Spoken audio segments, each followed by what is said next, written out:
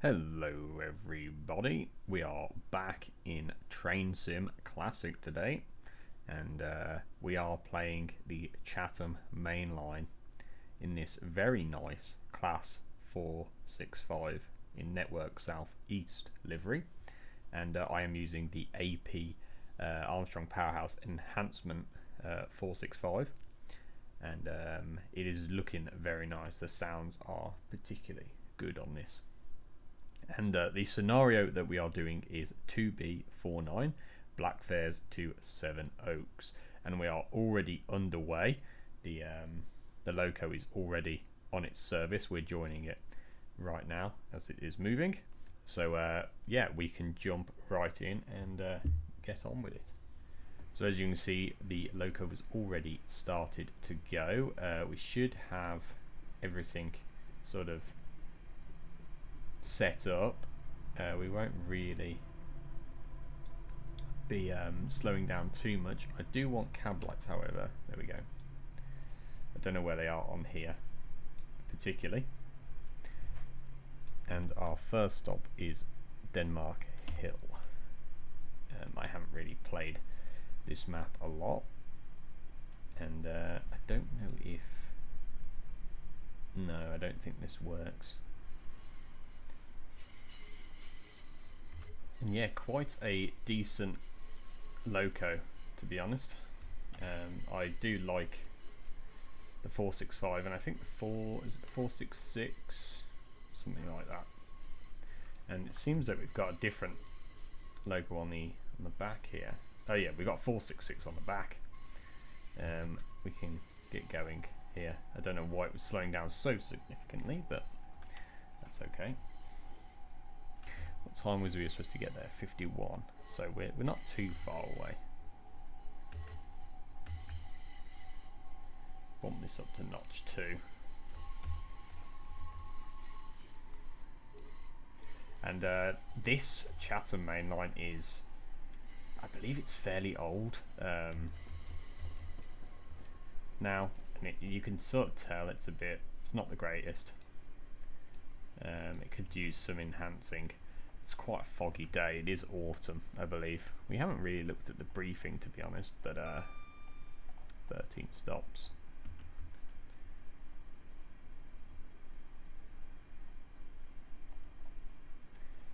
Um, quite a foggy day in train sim. As we come into Denmark Hill here.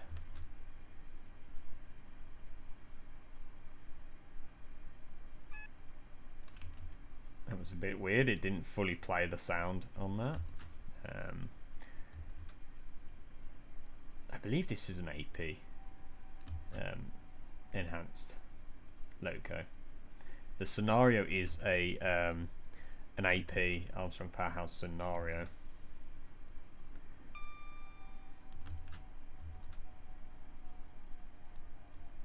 I'll just use this dynamic brake here, which is uh, the combined power and brake lever.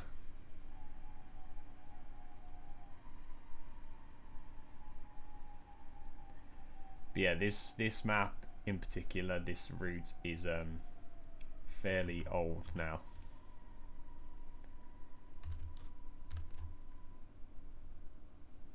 So it's uh, the textures aren't that great. Um, not sure if this has a DR a. Mm, doesn't look like it. Speed set dial that's quite cool. Um, no this loco's fairly it might just have a sound um, at the pantograph. Yeah see all these sort of it's just quite an old model if you see. Doesn't look like we've got DRA. Okay, not a problem. Um, and we can get going.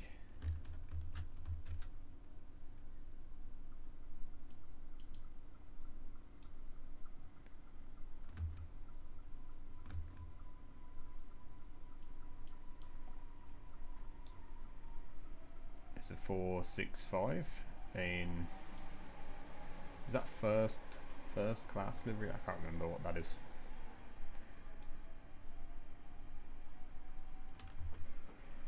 But yeah, really like the Network Southeast um, livery. It's it's such a nice livery, especially on these networkers. They are very nice.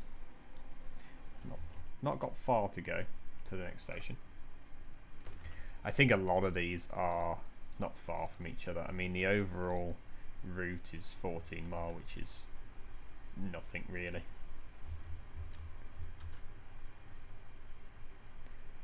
Uh, might have a yellow coming up. Oh, I think that's the DRA there. Yeah, DRA, so it does have one. So we will use that when we get to the station. Will start slowing down now. Getting back into the swing of things, coming into stations and whatnot is um, tricky. I tend to I tend to fly into the station a bit hot, and then you you know you you're applying the brake too too hard then. I try not to uh, I try not to um, do that, and vice versa. I tend to come into them a bit slow sometimes. This is a nice speed.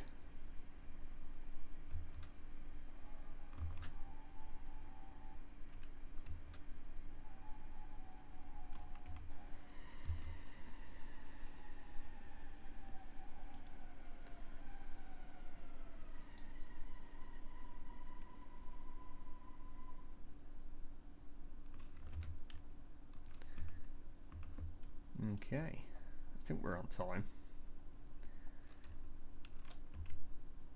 It's a cool, uh, cool image there. Nope. Um, pressing all the wrong buttons. 54, yeah, so we're basically on time, essentially. Oh, that guy just literally walked through the cab. He's doing it again. Excuse me, sir. He's just stuck in circles. Interesting. Never seen that in train sim before. Never. Don't know if it's just a uh, because this is quite an old line, um, old um, route. Um, some of the newer stuff, some of the new um, maps are. Oh, we didn't use the DRA, did we? Oh well.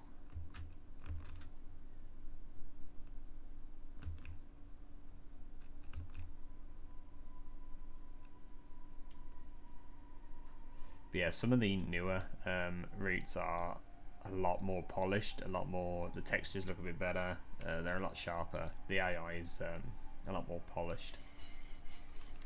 But we like these. Lot we like these older routes. They are somewhat special. ETA 56 doesn't actually give us a number for this next platform, so guess we can just arrive at any time that we want.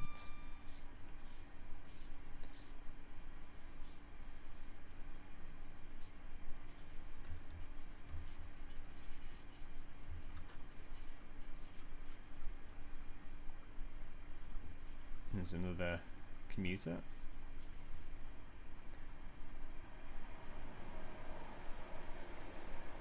I really like how AP do their AI.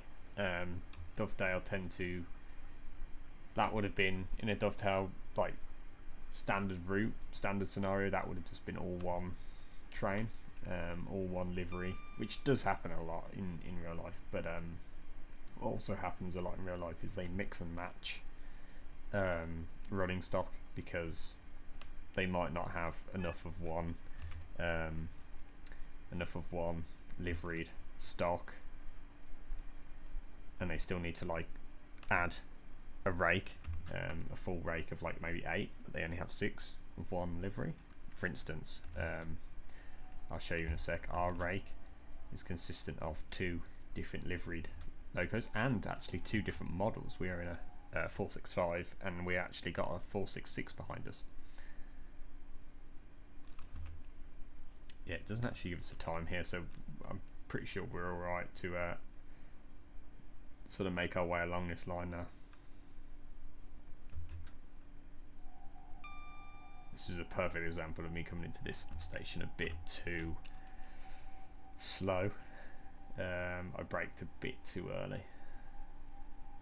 So I've had to notch up. You shouldn't ever have to notch up.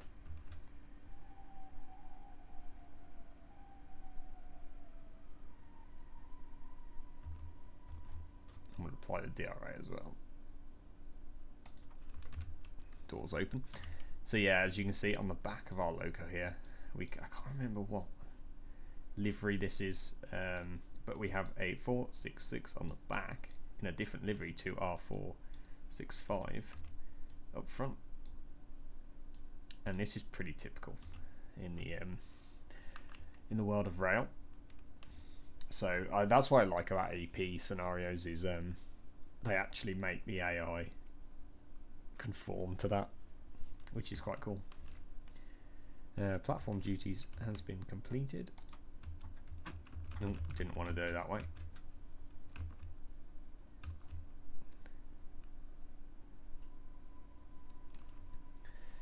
And we are already onto our fourth stop. Yeah, this scenario is more, it's a 40 minute scenario or thereabouts. Give or take.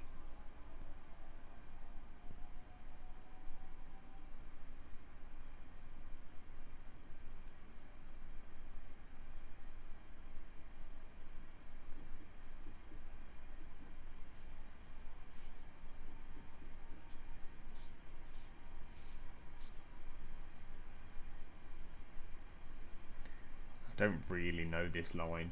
Um, to be honest, the uh, Chatham uh, main line, um, Loughborough Junction. Yeah, I don't really know this this line. Um, like I know the Birmingham cross country, but it's still fun to play, nonetheless. Um, it's sort of universal, carries over that's what I like about sort of when you learn to drive and when you learn, you know, the signals and stuff. It's all universal. It's not like you know if you drove a train on the Birmingham Cross City Lane and then went in and then you were transferred and went to drive one in London, the, fundamentals carry over. It'll more than likely be the same loco. Um, it'll more than likely have the same sort of features and safety features, for instance AWS and DRA and all the signals mean the same thing, and you know, so it's it's sort of universal. Yeah, once you learn to drive, a driver can sort of go anywhere he wants. and drive any and then the only thing that you learn is sort of the route um, and sort of special um, special like bits along the route for instance if this bend is a bit more sharp or if there's a hill coming up that sort of stuff. But you learn that over time by playing a route constantly. We haven't really had a look around this logo. Like I say, it's an old model. I think it's an old uh, dovetail model. I think the enhancement pack from AP. Woo! I've not been paying attention to the braking. it's fine. We'll stop. Relatively uh, easy on this one. I hope.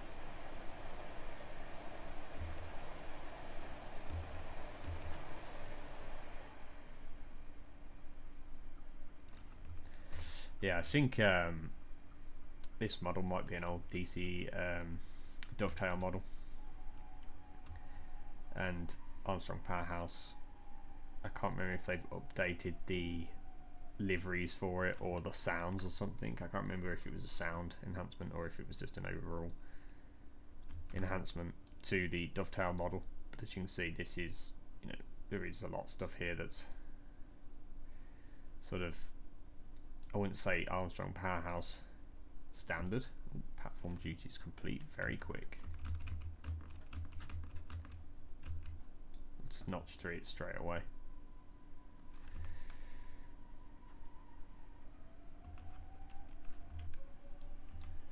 We haven't really had a chance to look at the outside of this, have we?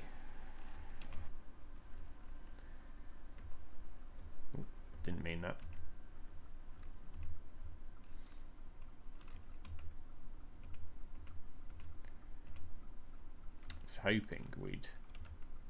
There we go, we'll just go into this. And we can fly down the track here. Let's get a nice spot.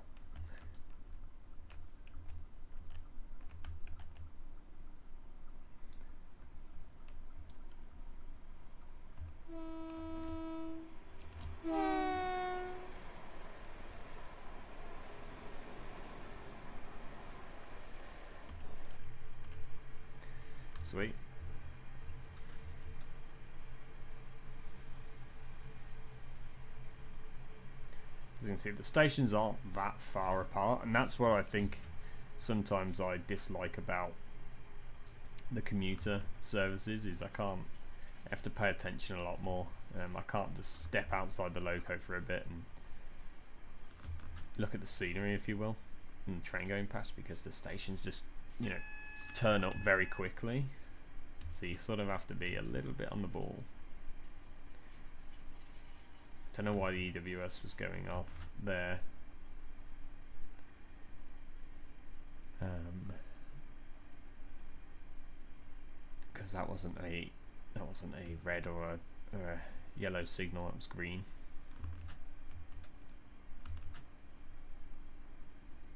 But yeah, the platforms are relatively close to one another.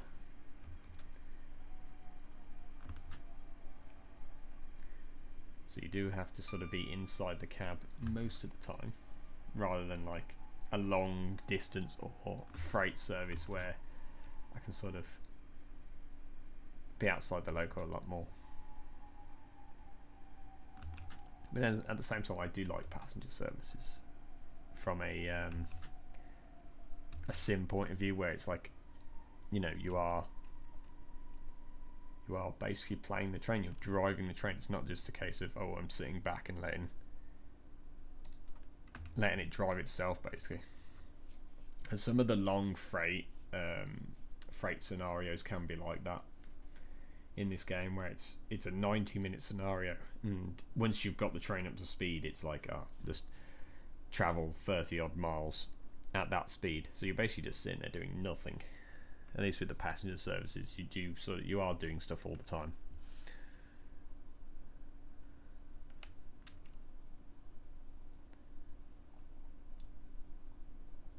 Platform duties complete.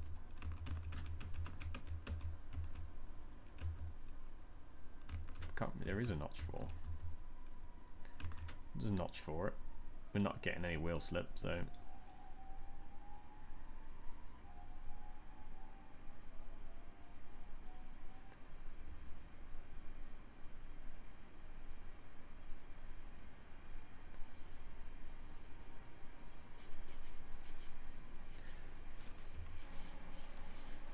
FPS has been pretty good so far on this. I am using the experimental uh, DX12 version of the game. Um, let's just slow down a little bit. Yeah, I am using the experimental DX12 version of the game just to see if it runs a bit smoother. Uh, it seems to be. Um, I know it's a bit laggy inside the cab here when I move, but that might just be because it's an old model.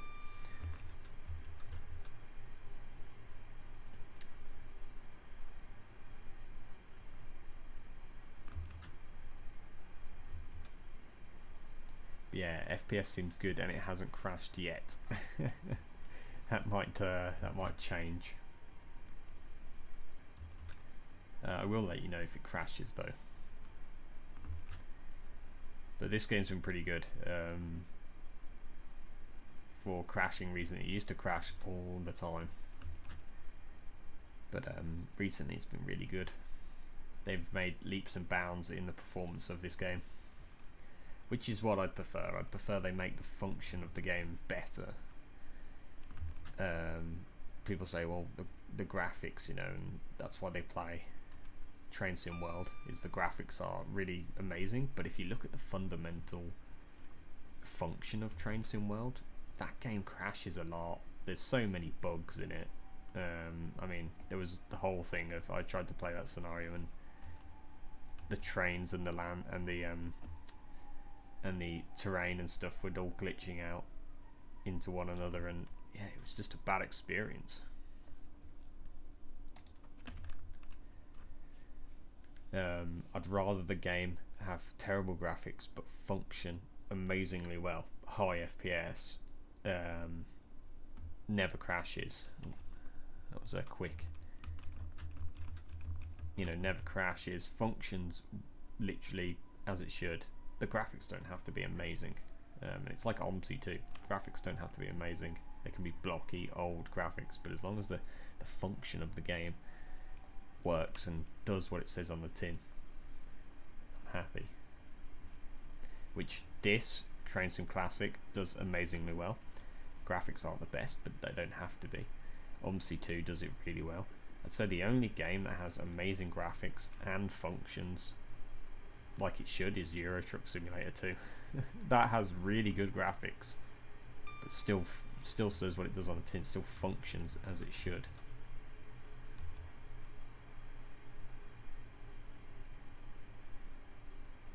Um, Train Sim World is just yeah. I've had too many bad experiences with that game, and it um and as they keep bringing out new ones every year, it sort of feels like a bit of a money grab sometimes from them.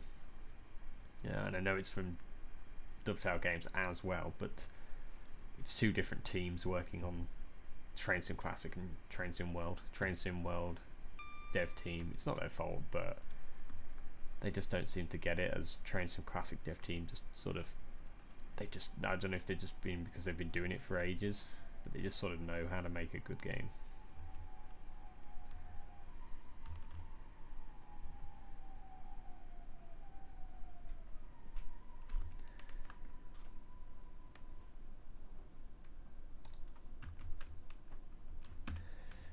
To? Seven. So we're not far away now. Swanley. That is uh, not quite. Oh, there it is. And we can go.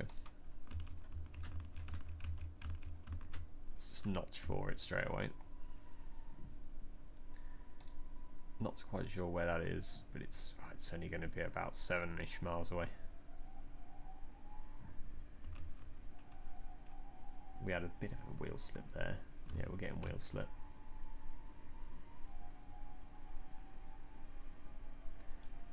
Sometimes they have, it lets you know that there's wheel slip.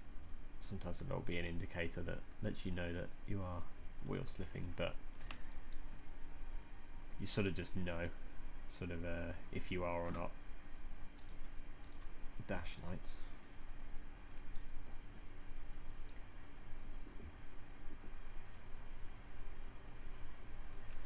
It won't take us long to get up to this next one. So yeah, we're already on Station 8. We're not too far away from finishing this scenario.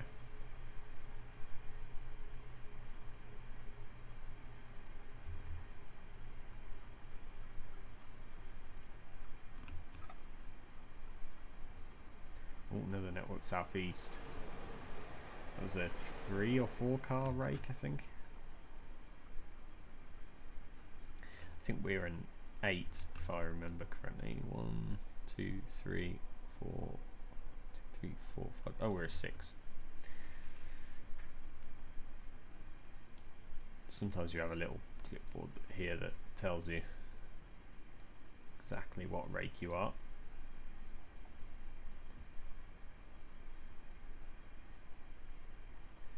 Something to do with the computer. Ooh, I was not paying attention. It's alright though. Luckily the braking on this is amazingly good. Um, I forget what they call it, but I don't know if it's got the reverse motor braking where it basically applies power to reverse the motors to help you brake.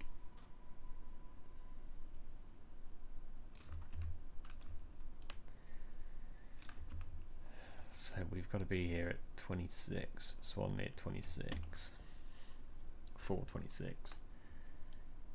I'm pretty sure we'll uh, we'll get close to that. Might not be exact, but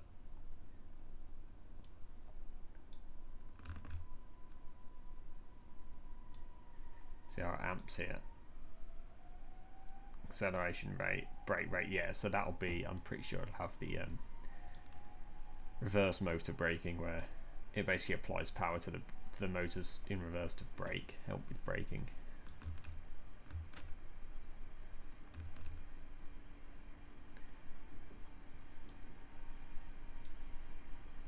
No co-driver today, and this doesn't work.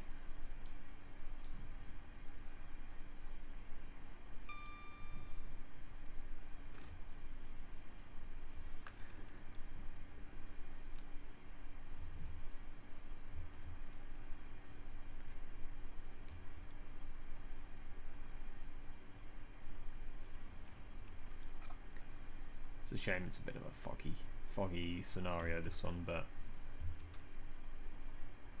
because I, I do like it when it's like sunny and blue skies and clouds.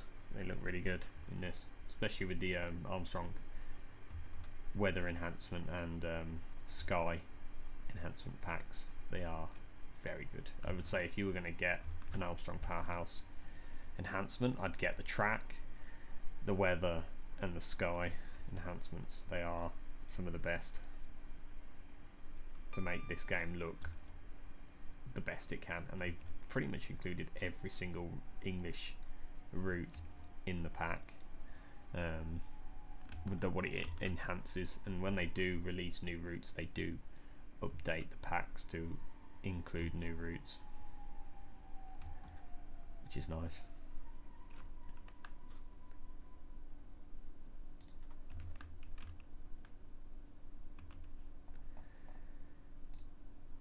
Yeah, not far now. Yep, seven mile-ish. That last plat, that those last couple of stations are a bit more further away from each other.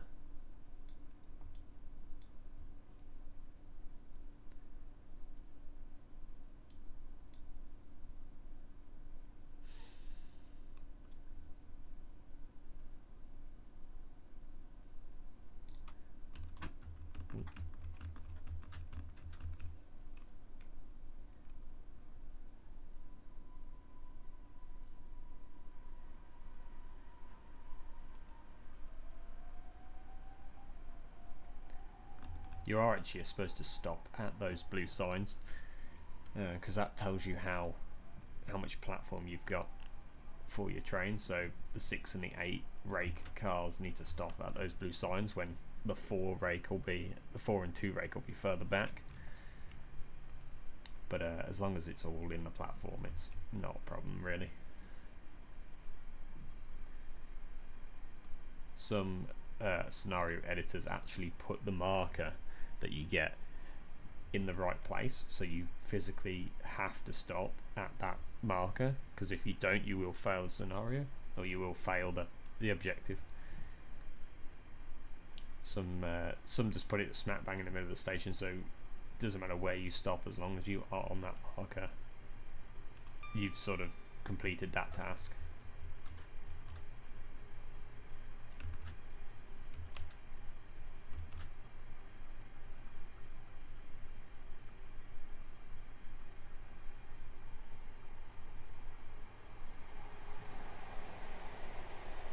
can't remember what those were. The three, three one three. Can't remember. Three two. No, it's not three two three because that's the Birmingham Cross City line. Three six six. I think it is three six six.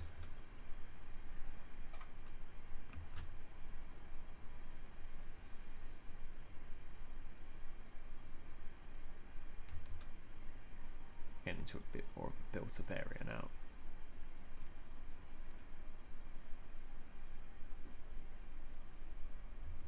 This is a very cool station, I must admit, with this sort of old Victorian brick wall here. This quite quaint little station. Quite a long station as well, actually. It goes all the way down there. But you see these little numbers. And that's where the four rake coaches would stop. And we would need to stop down here on these ones. But we are basically in the station. Now.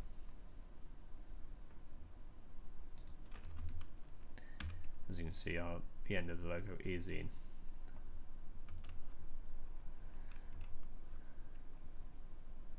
Have I got the cab light on? Yeah, it's just very dark in here.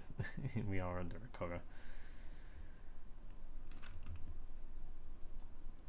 And yeah, we're uh, not too far from finishing now.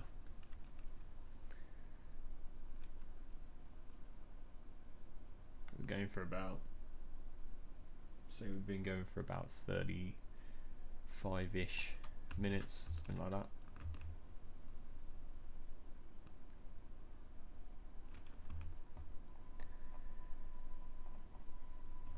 That's what we like to see, ticks on all of them.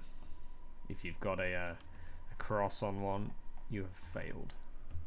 It's not so bad in standard, and that's why a lot of the Armstrong Powerhouse and uh, other scenarios from th other third parties, they are set in standard because if you cross a red light, it's not going to win the scenario.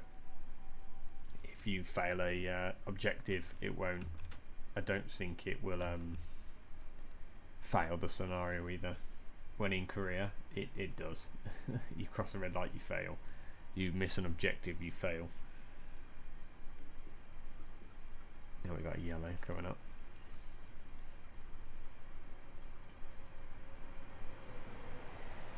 That's a long one, eight car I think those. Yeah. Eight rake.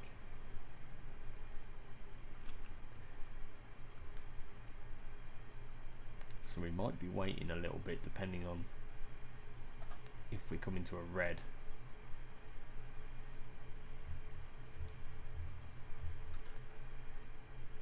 Oh, no, it's uh, on the opposite side. We've been having greens all the way.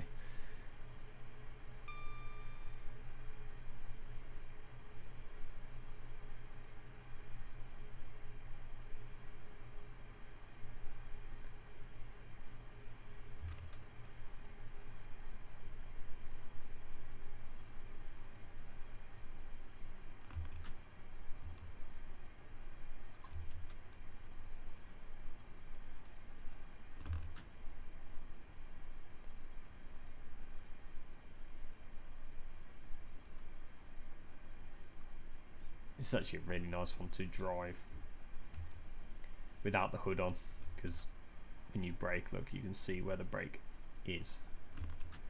You don't necessarily need the hood, but I just like it because it tells you how far away from the platform you are.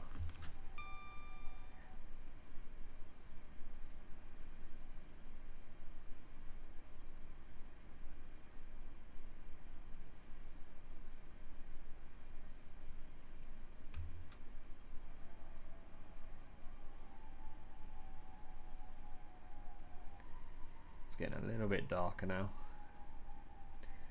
Coming up to uh, 20 past 4 in, the autumn in the UK, it sort of does get dark very quickly. It gets dark about 5 o'clock in the um, winter and autumn. So, uh, pretty typical, really. Sort of the home time passenger service commuter.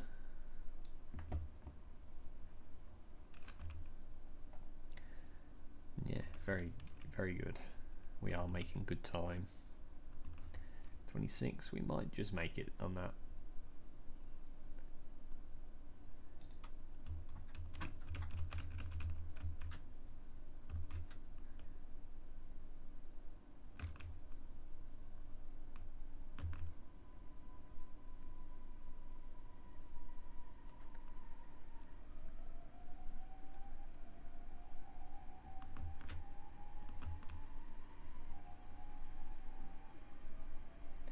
See the clouds have sort of changed a bit.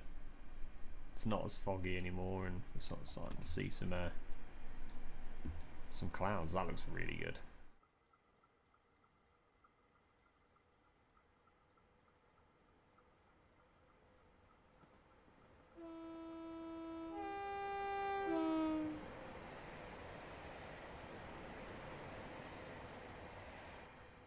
Saying that's 90. I, some lines are bit quicker. I think the normal speed for a passenger commuter is 75. But, you know, some some routes and some services are 100 mile an hour plus. Especially the uh, Voyagers and stuff, if they're going long distance, non-stop. They can be, um, yeah, 100 mile an hour plus.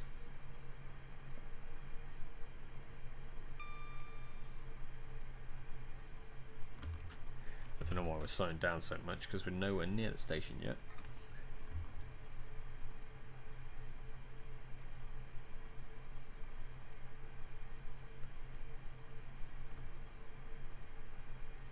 We will be going downhill here a little bit.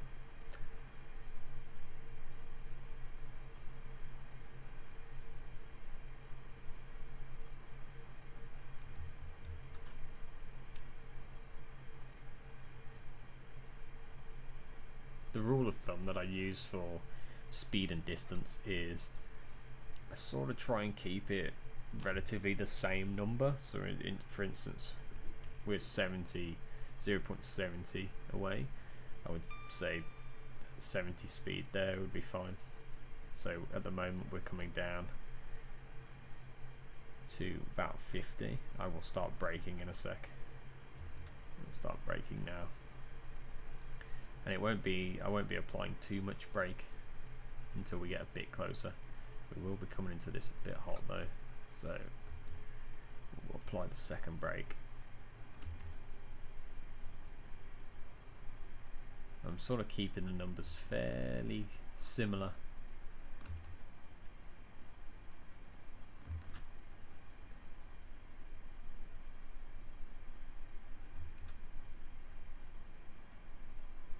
give or take uh, 10 mile an hour or so.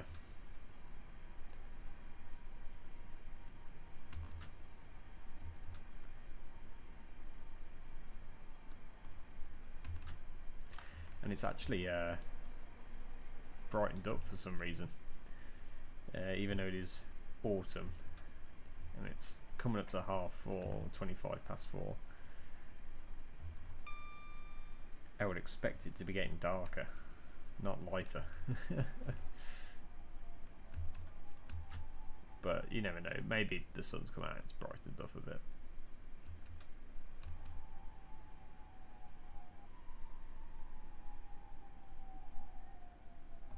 There's a digger over there doing some work. See, there's a 10 car, 12 car rake. So this station's pretty long. Uh, and then Swanley is only about three mile away.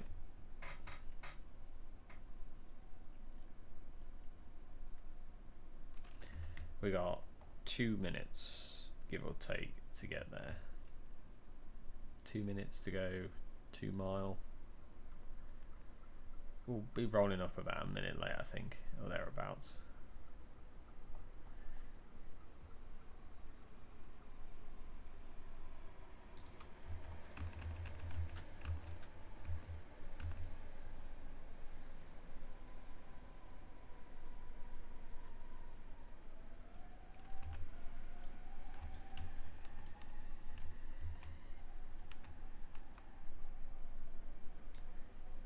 Let's have a look what these diggers were doing.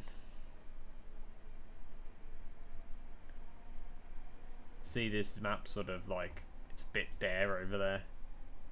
But then you look over here with all the houses and it looks very, very uh, full, very lived in. That's what I'd like to see from Train Sim. Very lived in, rather than just empty like that.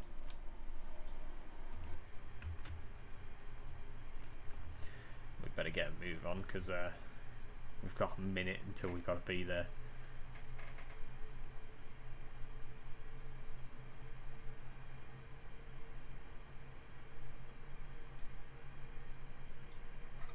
This one's been quite fun. It's been nice taking this out. This uh, 465. I do like these sort of tubular, you know, commuter trains I always have.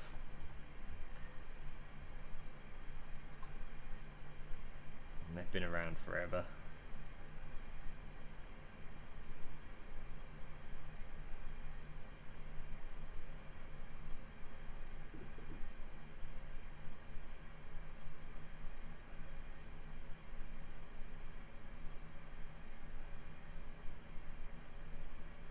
yeah, I'm starting to discover a bit more of the third party stuff. I've the dovetail stuff's fine, dovetail scenarios and, and locos and stuff, and their new routes are pretty good, but when you start getting into like third party stuff like Alan Thompson Sim, Armstrong Powerhouse, Vulcan Products, um, Just Trains, they make they make their models super super like well made. All the buttons work. You can tell a lot of love goes into the making maps as well. A lot of them make incredible maps.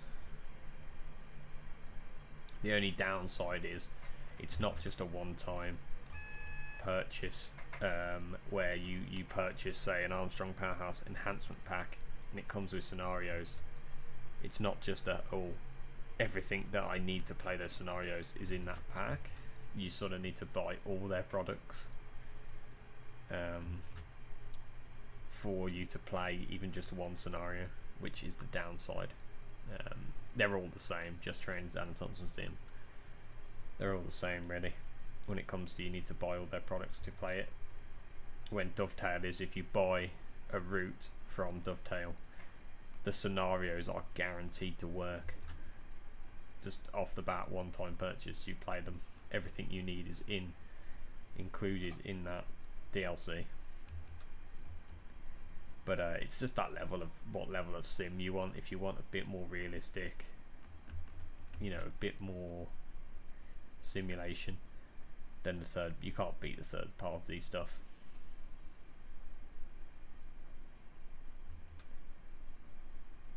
But it you yeah it's it's a costly costly thing. It's like owning a it's like owning a uh, railway. It's very costly modern it's your hobby. Right, that is our last stop. So we will jump outside the loco and uh, see how we did. So that was the Chatham main line, the class 465 in Network Southeast, and we were playing the scenario 2B49 Blackfriars to Sevenoaks. And uh, it was a real, really good scenario. Really enjoyed it. It was about a 40 minute scenario. Um, we were stopping a few times. But yeah, really enjoyed it. If you enjoyed it, I'd appreciate a like and a subscribe, and I will see you in the next one. Bye bye.